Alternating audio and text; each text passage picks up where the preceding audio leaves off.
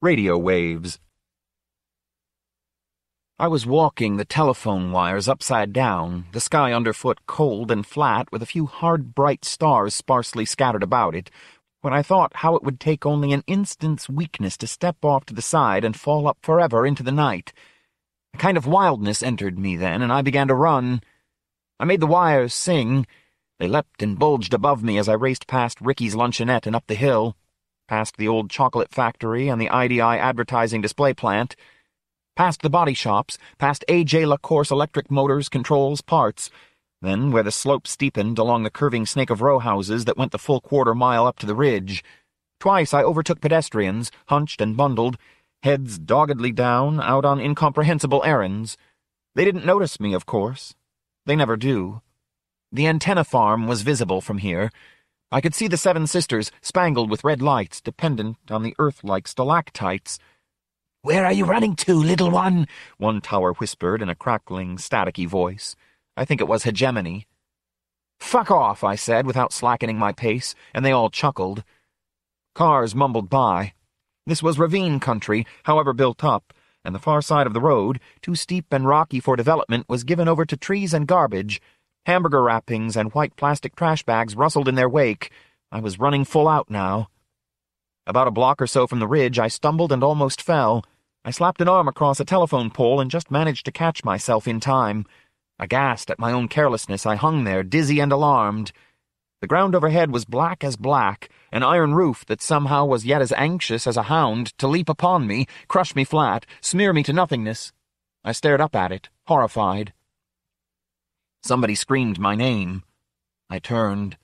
A faint blue figure clung to a television antenna atop a small stuccoed brick duplex. Charlie's widow. She pointed an arm that flickered with silver fire down Ripka Street. I slewed about to see what was coming after me. It was the corpse grinder. When it saw that I'd spotted it, it put out several more legs, extended a quilled head, and raised a howl that bounced off the heaviside layer. My non-existent blood chilled. In a panic, I scrambled up and ran toward the ridge and safety. I had a squad in the old Roxy, and once I was through the wall, the corpse grinder would not follow. Why this should be so I did not know, but you learn the rules if you want to survive. I ran. In the back of my head I could hear the Seven Sisters clucking and gossiping to each other, radiating television and radio over a few dozen frequencies, indifferent to my plight. The corpse grinder churned up the wires on a hundred needle-sharp legs, I could feel the ion surge it kicked up, pushing against me as I reached the intersection of Ridge and Leverington. Cars were pulling up to the pumps at the Atlantic station. Teenagers stood in front of the A-plus mini-market, flicking half-smoked cigarettes into the street, stamping their feet like colts and waiting for something to happen. I couldn't help feeling a great longing disdain for them, every last one worried about grades and drugs and zits, and all the while snugly barricaded within hulking fortresses of flesh.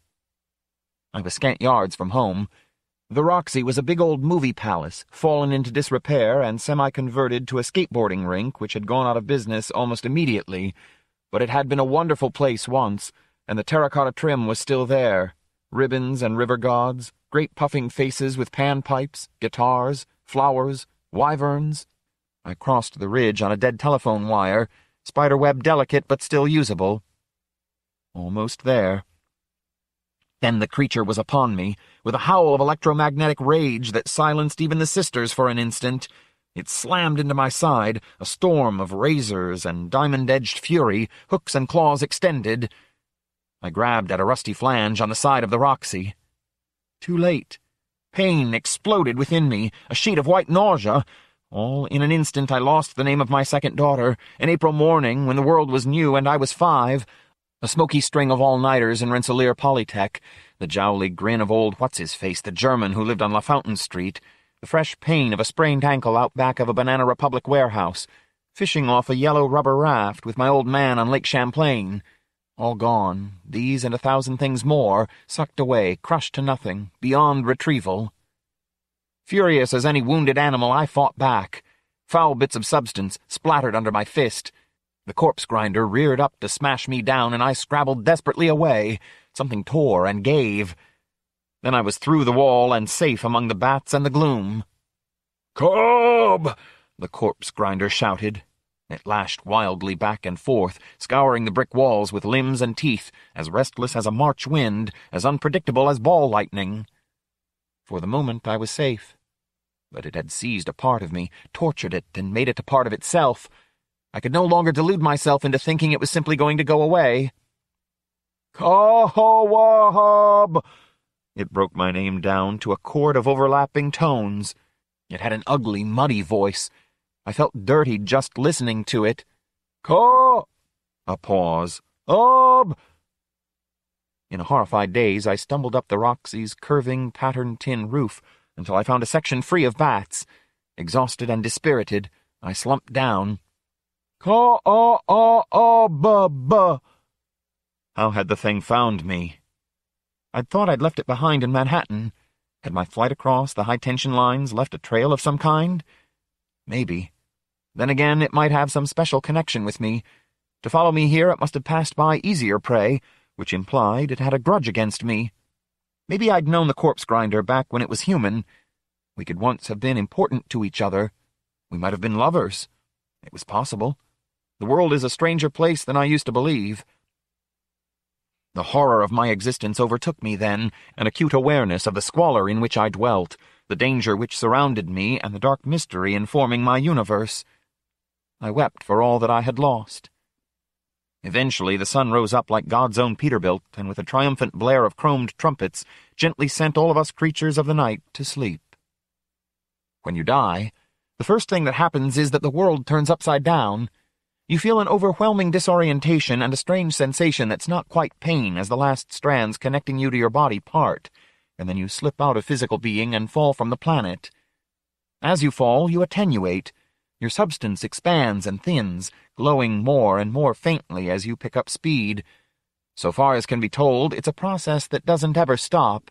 Fainter, thinner, colder, until you've merged into the substance of everyone else who's ever died, spread perfectly uniformly through the universal vacuum, forever moving toward but never arriving at absolute zero. Look hard, and the sky is full of the dead. Not everyone falls away. Some few are fast-thinking or lucky enough to maintain a tenuous hold on earthly existence. I was one of the lucky ones. I was working late one night on a proposal when I had my heart attack. The office was empty, the ceiling had a wire mesh within the plaster, and that's what saved me. The first response to death is denial. This can't be happening, I thought. I gaped up at the floor where my body had fallen, and would lie undiscovered until morning. My own corpse, pale and bloodless, wearing a corporate tie and sleeveless gray Angora sweater. Gold Rolex, sharper image desk accessories, and of course I also thought, I died for this? By which of course I meant my entire life. So it was in a state of both personal and ontological crisis that I wandered across the ceiling to the location of an old pneumatic message tube, removed and casually plastered over some fifty years before. I fell from the 17th to the 25th floor, and I learned a lot in the process. Shaken, startled, and already beginning to assume the wariness that the afterlife requires, I went to a window to get a glimpse of the outer world. When I tried to touch the glass, my hand went right through. I jerked back. Cautiously, I leaned forward so that my head stuck out into the night. What a wonderful experience Times Square is when you're dead. There is ten times the light a living being sees. All metal things vibrate with inner life. Electric wires are thin blue scratches in the air. Neon sings. The world is filled with strange sights and cries. Everything shifts from beauty to beauty. Something that looked like a cross between a dragon and a wisp of smoke was feeding in the square but it was lost among so many wonders that I gave it no particular thought. Night again. I awoke with Led Zeppelin playing in the back of my head. Stairway to Heaven. Again. It can be a long wait between dead milkmen cuts. Wakey risey, little man, crooned one of the sisters, it was funny how sometimes they took a close personal interest in our doings, and other times ignored us completely. This is Euphrosyne with the Red Eye Weather Report. The outlook is moody, with a chance of existential despair. You won't be going outside tonight if you know what's good for you. There'll be lightning within the hour. It's too late in the year for lightning, I said. Oh dear, should I inform the weather? By now, I was beginning to realize that what I had taken on awakening to be the pressure of the corpse grinder's dark aura was actually the high pressure front of an advancing storm. The first drops of rain pattered on the roof. Wind skirled and the rain grew stronger. Thunder growled in the distance. Why don't you just go fuck your... A light laugh that trilled up into the supersonic, and she was gone. I was listening to the rain underfoot when a lightning bolt screamed into existence, turning me inside out for the briefest instant, then cartwheeling gleefully into oblivion. In the femtosecond of restoration following the bolt, the walls were transparent and all the world made of glass, its secrets available to be snooped out. But before comprehension was possible, the walls opaqued again, and the lightning's malevolent aftermath faded like a madman's smile in the night. Through it all, the Seven Sisters were laughing and singing, screaming with joy whenever a lightning bolt flashed, and making up nonsense poems from howls, whistles, and static. During a momentary lull, the flat hum of a carrier wave filled my head. Phaena, by the feel of her, but instead of her voice, I heard only the sound of fearful sobs. Widow, I said, is that you? She can't hear you, Phaena purred. You're lucky I'm here to bring you up to speed. A lightning bolt hit the transformer outside her house. It was bound to happen sooner or later. Your nemesis, the one you call the corpse grinder, such a cute nickname, by the way, has her trapped. This was making no sense at all. Why would the corpse grinder be after her? Why, why, why, why? Phaena sang, a snatch of some pop ballad or other. You didn't get answers when you were alive. What made you think you'd get any now? The sobbing went on and on. She can sit it out, I said. The corpse grinder can't. Hey, wait. Didn't they just wire her house for cable? I'm trying to picture it. Phone lines on one side, electricity on the other, cable. She can slip out on his blind side. The sobs lessened and then rose in a most unwidow-like wail of despair. Typical, Phaena said. You haven't the slightest notion of what you're talking about. The lightning stroke has altered your little pet. Go out and see for yourself. My hackles rose. You know damned good and well that I can't. Phaena's attention shifted and the carrier beam died. The Seven Sisters are fickle that way. This time, though, it was just as well. No way was I going out there to face that monstrosity. I couldn't, and I was grateful not to have to admit it. For a long while I sat thinking about the corpse grinder. Even here, protected by the strong walls of the Roxy, the mere thought of it was paralyzing.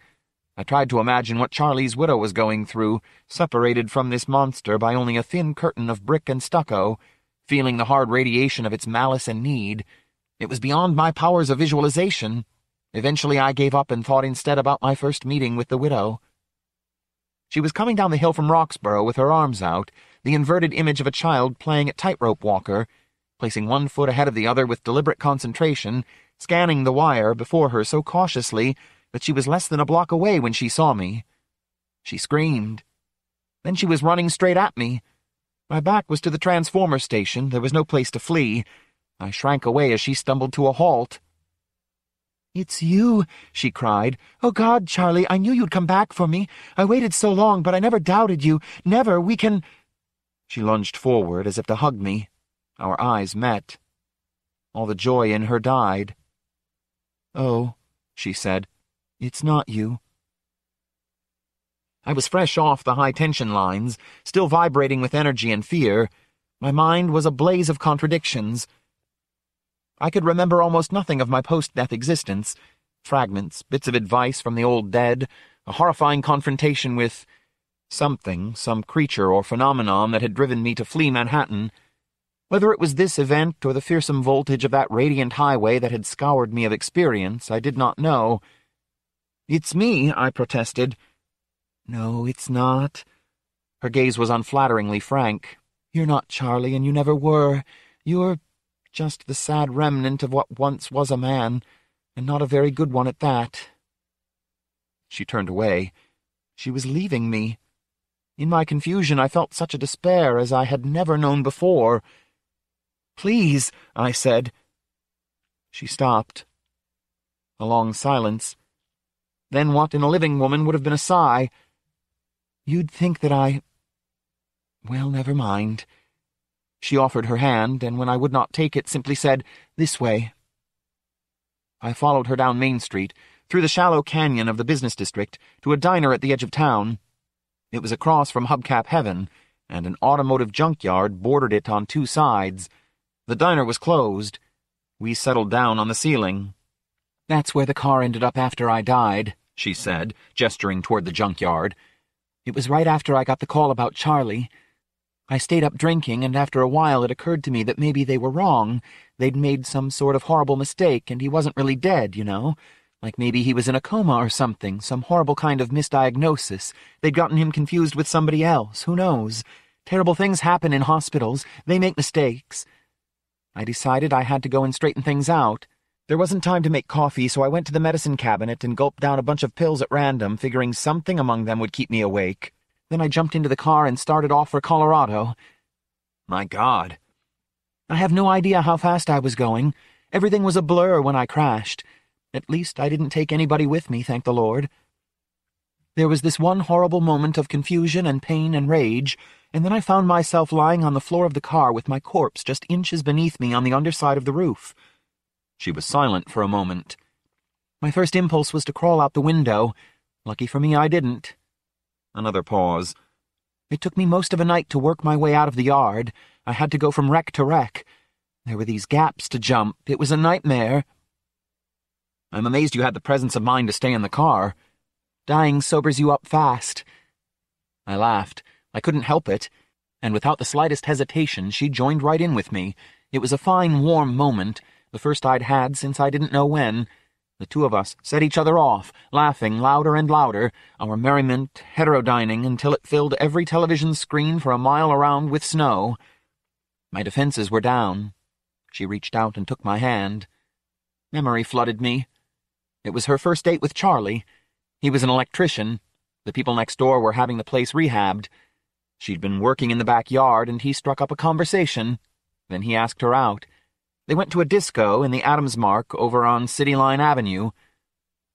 She wasn't eager to get involved with somebody just then.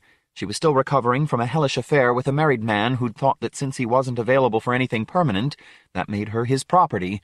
But when Charlie suggested they go out to the car for some coke, it was the seventies, she'd said sure. He was going to put the moves on her sooner or later. Might as well get this settled early so they'd have more time for dancing. But after they'd done up the lines, Charlie had shocked her by taking her hands in his and kissing them. She worked for a Bucks County pottery in those days, and her hands were rough and red. She was very sensitive about them. Beautiful hands, he murmured. Such beautiful, beautiful hands. You're making fun of me, she protested, hurt. No, these are hands that do things, and they've been shaped by the things they've done, the way stones in a stream are shaped by the water that passes over them, the way tools are shaped by their work. A hammer is beautiful if it's a good hammer, and your hands are too. He could have been scamming her, but something in his voice, his manner, said no, he really meant it. She squeezed his hands and saw that they were beautiful too. Suddenly she was glad she hadn't gone off the pill when she broke up with Daniel. She started to cry. Her date looked alarmed and baffled, but she couldn't stop. All the tears she hadn't cried in the past two years came pouring out of her, unstoppable. Charlie boy, she thought, you just got lucky. All this in an instant. I snatched my hands away, breaking contact. Don't do that, I cried. Don't you ever touch me again. With flat disdain, the widow said, It wasn't pleasant for me either, but I had to see how much of your life you remember.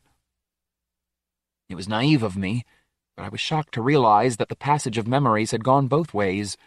But before I could voice my outrage, she said, There's not much left of you, you're only a fragment of a man, shreds and tatters, hardly anything. No wonder you're so frightened. You've got what Charlie calls a low signal-to-noise ratio. What happened in New York City almost destroyed you. That doesn't give you the right to... Oh, be still. You need to know this. Living is simple. You just keep going. But death is complex. It's so hard to hang on and so easy to let go. The temptation is always there, believe me, I know. There used to be five of us in Roxborough, and where are the others now? Two came through Manayunk last spring and camped out under the L for a season, and they're gone too. Holding it together is hard work. One day the stars start singing to you, and the next you begin to listen to them. A week later they start to make sense. You're just reacting to events. That's not good enough. If you mean to hold on, you've got to know why you're doing it. So why are you? I'm waiting for Charlie, she said simply. It occurred to me to wonder exactly how many years she had been waiting. Three? Fifteen? Just how long was it possible to hold on? Even in my confused and emotional state, though, I knew better than to ask. Deep inside, she must have known as well as I did that Charlie wasn't coming. My name's Cobb, I said. What's yours? She hesitated, and then with an odd sidelong look said, I'm Charlie's widow. That's all that matters.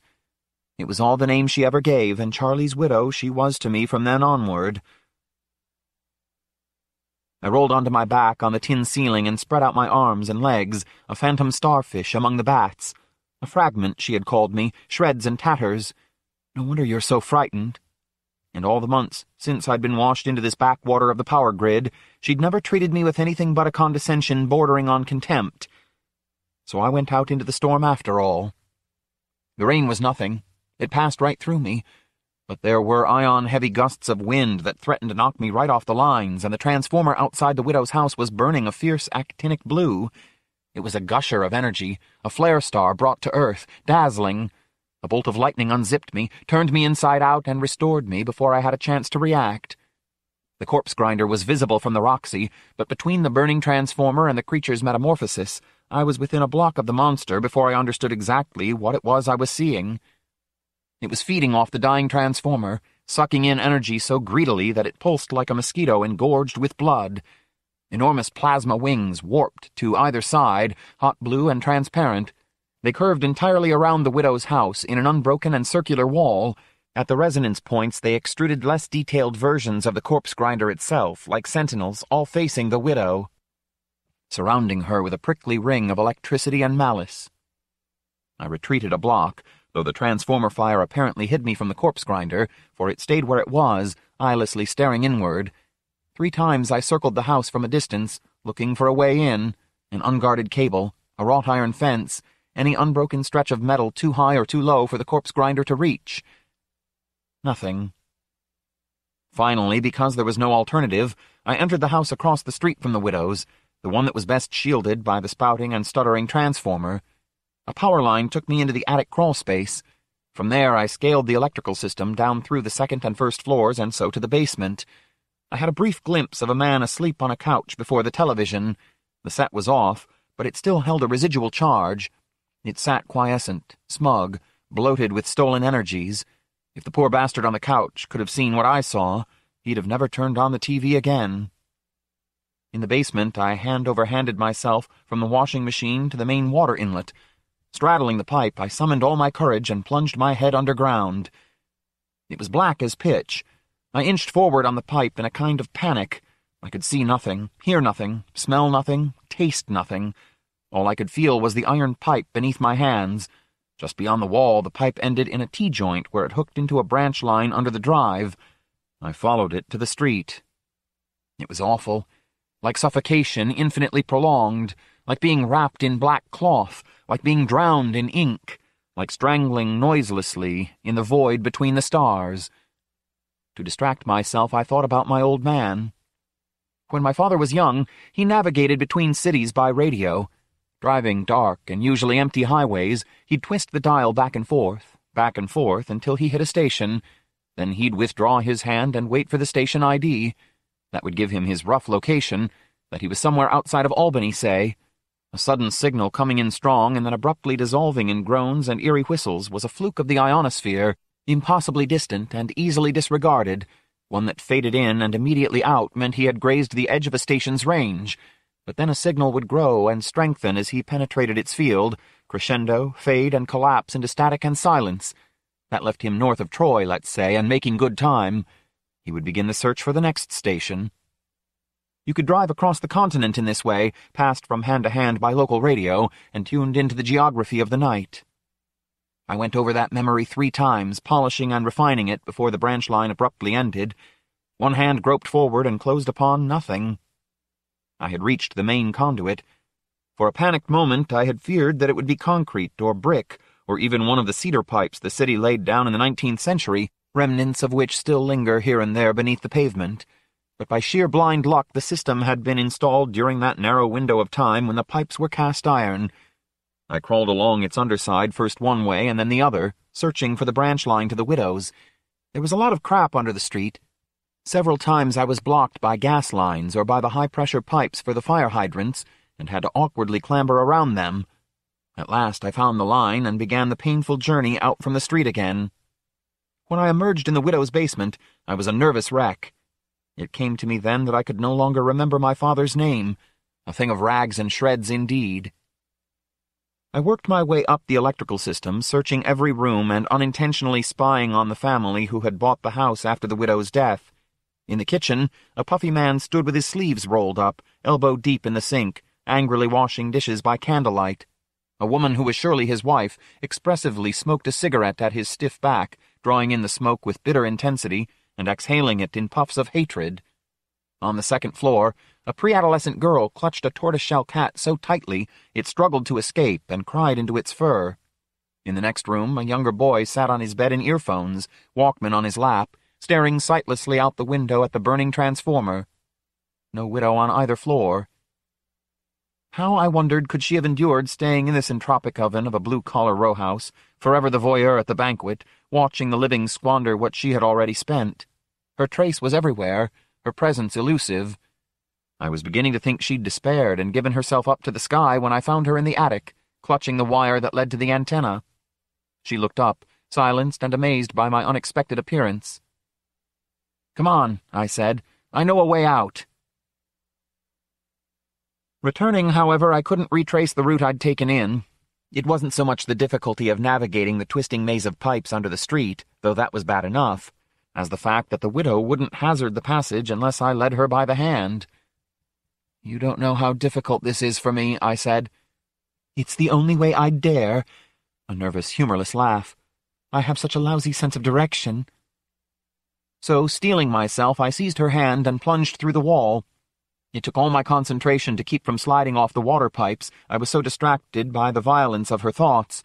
We crawled through a hundred memories, all of her married lover, all alike. Here's one. Daniel snapped on the car radio. Sad music, something classical, flooded the car. That's bullshit, babe. You know how much I have invested in you? He jabbed a blunt finger at her dress. I could buy two good whores for what that thing cost. Then why don't you, she thought. Get back on your Metroliner and go home to New York City and your wife and your money and your two good whores. Aloud, reasonably, she said, It's over, Danny, can't you see that? Look, babe, let's not argue here, okay? Not in the parking lot with people walking by and everybody listening. Drive us to your place. We can sit down and talk it over like civilized human beings. She clutched the wheel, staring straight ahead. No, we're going to settle this here and now. Christ. One-handed, he wrangled a pack of Kents from a jacket pocket and knocked out a cigarette, put the end in his lips and drew it out, punched the lighter. So talk. A wash of hopelessness swept over her. Married men were supposed to be easy to get rid of. That was the whole point. Let me go, Danny, she pleaded. Then, lying, we can still be friends. He made a disgusted noise. I've tried, Danny, I really have. You don't know how hard I've tried, but it's just not working. All right, I've listened. Now let's go. Reaching over her, Daniel threw the gearshift into reverse. He stepped on her foot, mashing it down on the accelerator. The car leapt backwards. She shrieked, and in a flurry of panic swung the wheel about and slammed on the brake with her free foot. With a jolt and a crunch, the car stopped. There was the tinkle of broken plastic. They'd hit a lime green Hyundai. Oh, that's just perfect, Daniel said. The lighter popped out. He lit his cigarette and then swung open the door. I'll check the damage. Over her shoulder, she saw Daniel tug at his trousers' knees as he crouched to examine the Hyundai.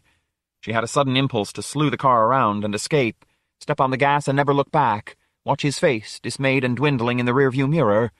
Eyes flooded with tears, she began quietly to laugh. Then Daniel was back. It's all right, let's go. I heard something break. It was just a tail light, okay? He gave her a funny look. What the hell are you laughing about? She shook her head hopelessly, unable to sort out the tears from the laughter. Then somehow they were on the expressway, the car humming down the indistinct and warping road. She was driving, but Daniel was still in control. We were completely lost now and had been for some time. I had taken what I was certain had to be a branch line, and it had led nowhere. We'd been tracing its twisty passage for blocks, I stopped and pulled my hand away. I couldn't concentrate, not with the caustics and poisons of the widow's past churning through me. Listen, I said, we've got to get something straight between us. Her voice came out of nowhere, small and wary. What? How to say it? The horror of those memories lay not in their brutality, but in their particularity. They nestled into empty spaces where memories of my own should have been. They were as familiar as old shoes. They fit. If I could remember any of this crap I said, I'd apologize. Hell, I can't blame you for how you feel. Of course you're angry. But it's gone. Can't you see that? It's over. You've got to let go. You can't hold me accountable for things I can't even remember, okay? All that shit happened decades ago. I was young. I've changed. The absurdity of the thing swept over me. I'd have laughed if I'd been able. I'm dead for pity's sake. A long silence. Then, so you figured it out? You've known all along, I said bitterly, ever since I came off of the high-tension lines in Manayunk. She didn't deny it. I suppose I should be flattered that when you were in trouble you came to me, she said in a way that indicated she was not. Why didn't you tell me then? Why drag it out? Danny, don't call me that. It's your name, Daniel. Daniel Cobb. All the emotions I'd been holding back by sheer force of denial closed about me.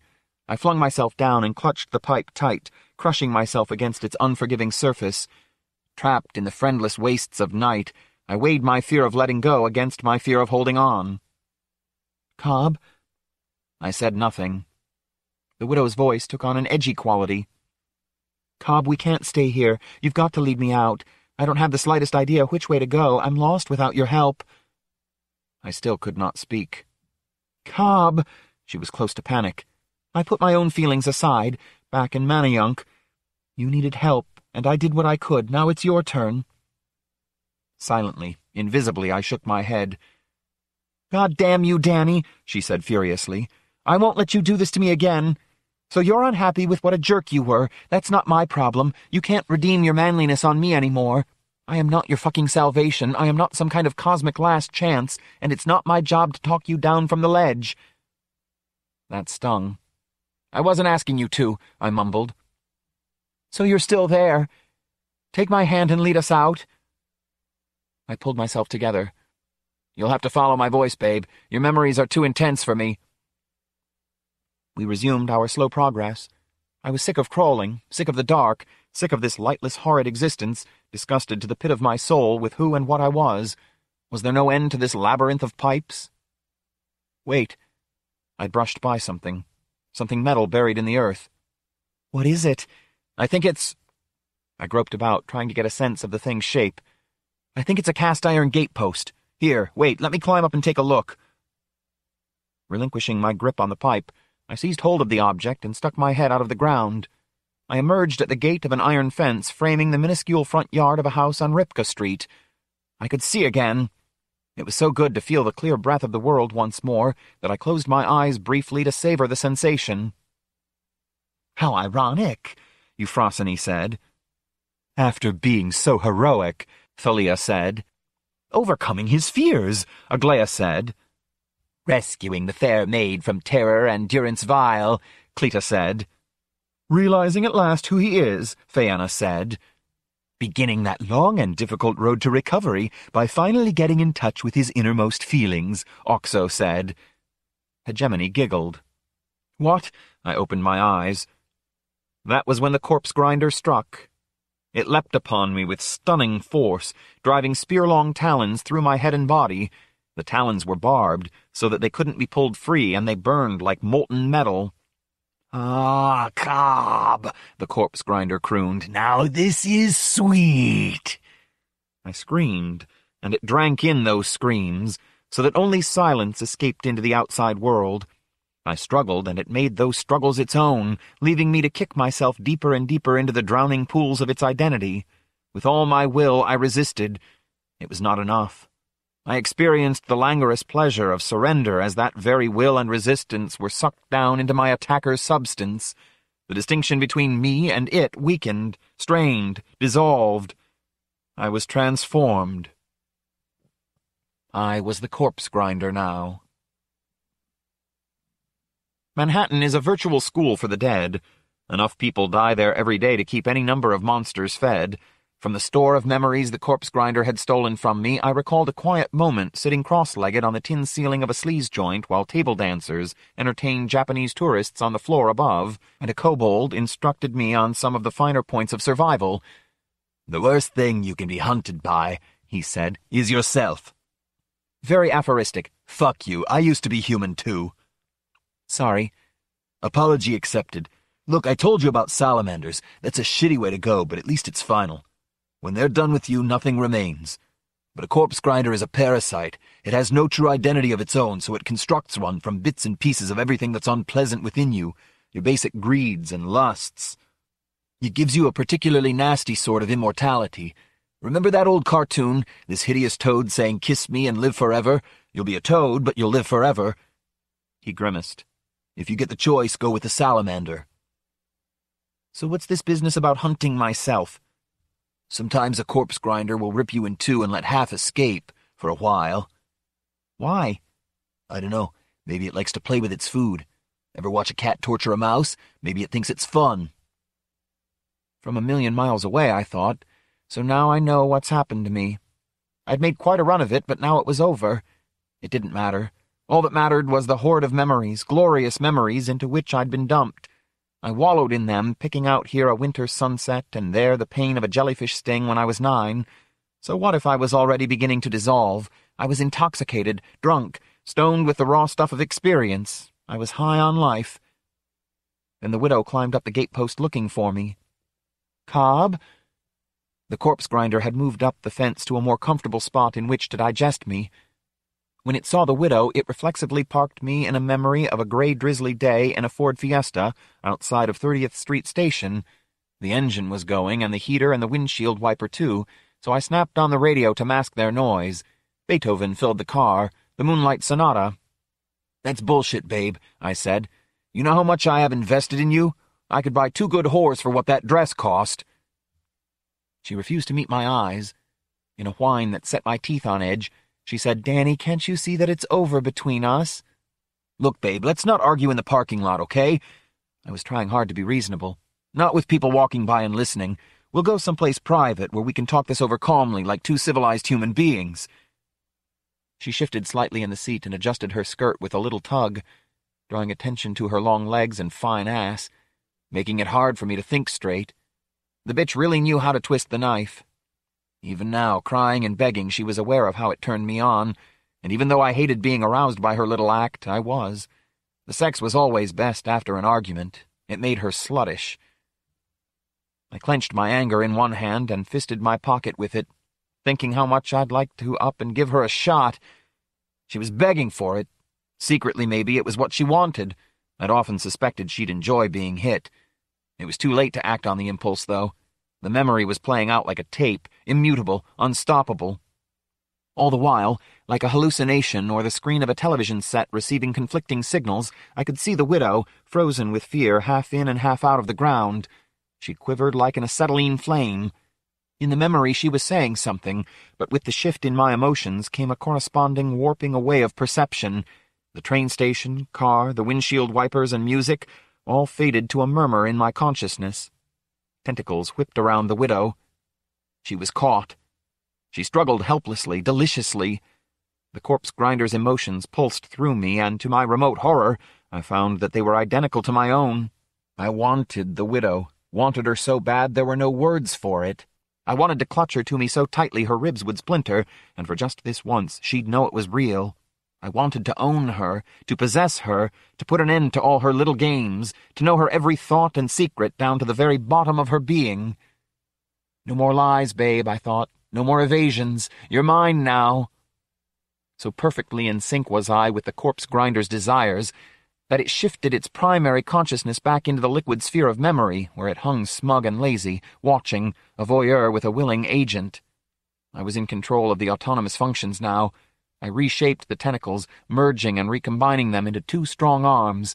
The claws and talons that clutched the fence I made legs again. The exterior of the corpse grinder I morphed into human semblance, save for that great mass of memories sprouting from our back like a bloated spider sack. Last of all, I made the head. I gave it my own face. Surprised to see me again, babe? I leered. Her expression was not so much fearful as disappointed. No, she said wearily. Deep down, I guess I always knew you'd be back. As I drew the widow closer, I distantly knew that all that held me to the corpse grinder in that instant was our common store of memories and my determination not to lose them again. That was enough, though. I pushed my face into hers, forcing open her mouth. Energies flowed between us like a feast of tongues. I prepared to drink her in. There were no barriers between us. This was an experience as intense as when, making love, you lose all track of which body is your own, and thought dissolves into the animal moment. For a giddy instant I was no less her than I was myself. I was the widow staring fascinated into the filthy depths of my psyche. She was myself witnessing her astonishment as she realized exactly how little I had ever known her. We both saw her freeze, still to the core, with horror. Horror not of what I was doing, but of what I was. I can't take any credit for what happened then. It was only an impulse, a spasm of the emotions, a sudden and unexpected clarity of vision. Can a single flash of decency redeem a life like mine? I don't believe it. I refuse to believe it. Had there been time for second thoughts, things might well have gone differently, but there was no time to think. There was only time enough to feel an upwelling of revulsion, a visceral desire to be anybody or anything but my own loathsome self, a profound and total yearning to be quit of the burden of such memories as were mine, an aching need to just once do the moral thing. I let go. Bobbing gently, the swollen corpus of my past floated up and away, carrying with it the parasitic corpse grinder. Everything I had spent all my life accumulating fled from me. It went up like a balloon, spinning, dwindling, gone, leaving me only what few flat memories I have narrated here. I screamed, and then I cried. I don't know how long I clung to the fence, mourning my loss, but when I gathered myself together, the widow was still there. Danny, the widow said. She didn't touch me. Danny, I'm sorry. I'd almost rather that she had abandoned me. How do you apologize for sins you can no longer remember? For having been someone who, however reprehensible, is gone forever? How can you expect forgiveness from somebody you have forgotten so completely you don't even know her name? I felt twisted with shame and misery. Look, I said, I know I've behaved badly, more than badly, but there ought to be some way to make it up to you. For, you know, everything. Somehow. I mean... What do you say to somebody who's seen to the bottom of your wretched and inadequate soul? I want to apologize, I said. With something very close to compassion, the widow said, It's too late for that, Danny. It's over. Everything's over. You and I only ever had the one trait in common. We neither of us could ever let go of anything. Small wonder we're back together again. But don't you see it doesn't matter what you want or don't want. You're not going to get it. Not now. You had your chance. It's too late to make things right. Then she stopped, aghast at what she had just said. But we both knew she had spoken the truth. Widow, I said as gently as I could, I'm sure Charlie... Shut up. I shut up. The widow closed her eyes and swayed as if in a wind. A ripple ran through her, and when it was gone, her features were simpler, more schematic, less recognizably human. She was already beginning to surrender the anthropomorphic. I tried again. Widow, reaching out my guilty hand to her. She stiffened, but did not draw away. Our fingers touched, twined, mated. Elizabeth, she said at last. My name is Elizabeth Connolly. We huddled together on the ceiling of the Roxy through the dawn and the blank horror that is day. When sunset brought us conscious again, we talked through half the night before making the one decision we knew all along that we'd have to make. It took us almost an hour to reach the Seven Sisters and climb down to the highest point of Thalia. We stood holding hands at the top of the mast. Radio waves were gushing out from under us like a great wind, it was all we could do to keep from being blown away. Underfoot, Thalia was happily chatting with her sisters. Typically, at our moment of greatest resolve, they gave us not the slightest indication of interest, but they were all listening to us. Don't ask me how I knew. Cobb, Elizabeth said. I'm afraid. Yeah, me too. A long silence, and then she said, Let me go first. If you go first, I won't have the nerve. Okay. She took a deep breath. Funny if you think about it. And then she let go and fell into the sky. First she was like a kite, and then a scrap of paper, and finally she was a rapidly tumbling speck. I stood for a long time watching her falling, dwindling, until she was lost in the background flicker of the universe, just one more spark in infinity. She was gone, and I couldn't help wondering if she had ever really been there at all. Had the widow truly been Elizabeth Connolly? Or was she just another fragment of my shattered self, a bundle of related memories that I had to come to terms with before I could bring myself to finally let go?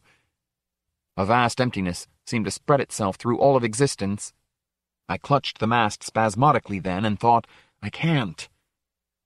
But the moment passed. I've got a lot of questions, and there aren't any answers here. In just another instant, I'll let go and follow Elizabeth, if Elizabeth she was, into the night. I will fall forever, and I will be converted to background radiation, smeared ever thinner and cooler across the universe, a smooth, uniform, and universal message that has only one decode. Let Thalia carry my story to whoever cares to listen. I won't be here for it. It's time to go now. Time and then some to leave. I'm frightened, and I'm going. Now.